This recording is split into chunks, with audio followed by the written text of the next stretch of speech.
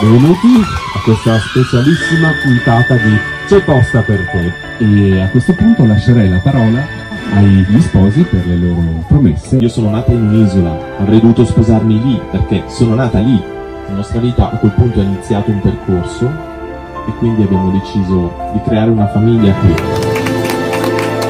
Stanno arrivando. Viva gli sposi! Salute!